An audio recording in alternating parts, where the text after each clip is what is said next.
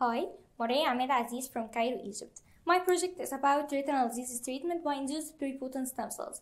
Two retinal diseases, XLRP and AMD. XLRP refers to X-linked retinitis pigmentosa, is an eye disease infect root cells. AMD is related macular degeneration, infect cone cells, macula cone cells. The experiment is a plain experiment. Induction of RP, diagnose, induction of AMD, stem cells, and the growth factors, and the cloning and injection.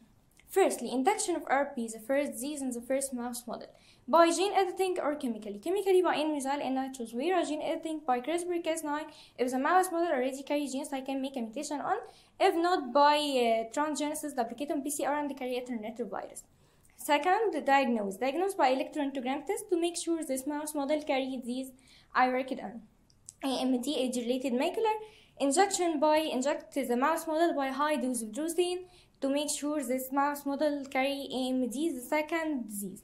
After that, stem cells kill 4 SOX2 OCT4 C mice according to Yamanaka factors and somatic cell as skin cell give us the IPCs. Growth factors. Adding growth factors to target roots and cones, roots, root spine chromophore complex proteins, and roots transducing protein. Cloning and injection take number of AMD from AMT patient take a number of undamaged root and from RP patient take damaged, undamaged cone cells and uh, make an in vitro uh, cloning and inject it in the mouse retina. Considering the cell adaptation and the cell division and this is was exper- is experiment and thanks.